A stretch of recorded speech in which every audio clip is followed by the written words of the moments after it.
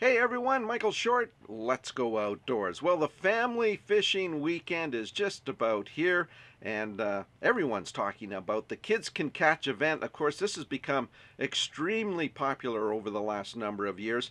Uh, the folks at the Alberta Conservation Association, all their corporate partners, and volunteers really make this event work. And of course, the thing with the family fishing weekend, you do not need a fishing license, although you still need to follow all the fishing regulations. If you have fishing gear, bring it out with you. If you don't, not an issue.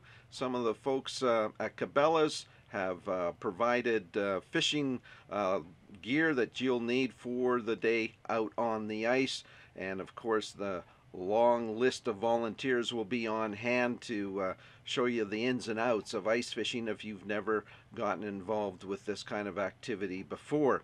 And uh, everything gets underway 9 o'clock on Saturday morning. Good idea to uh, check out the Alberta Conservation Association website, the link right here, and they will provide you with all the information you need to get out and enjoy, once again, the family fishing weekend.